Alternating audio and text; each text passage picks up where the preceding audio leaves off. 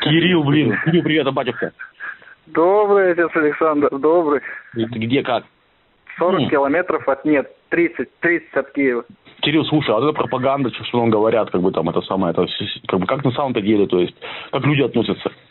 Но мы к себе все относимся как к фашистам, как к оккупантам. Мы не правы в Мгм. этом конфликте.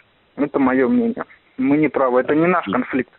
То есть мы против кого, против чего? Мы не видим здесь нацистов. Мы не видим Мгм. здесь ничего. Мы разговариваем с местными, они говорят, да вы что, говорит, да нас никогда в жизни не бомбили. Обозы нам ни с едой, ни с водой, ни с чем там, ни с сигаретами не приходят нифига. А как вы выживаете? Ну, то, что в погребах есть мародерство. ничего. Много кто у вас уже погиб из ваших ребят?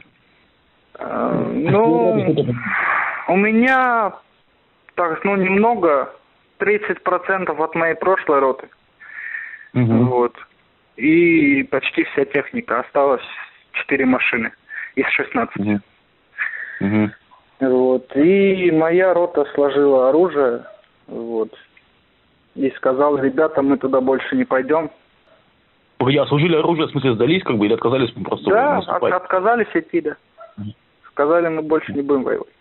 У меня у парнишки, вот, который ездил на БМП, Мгм. он его джавелин.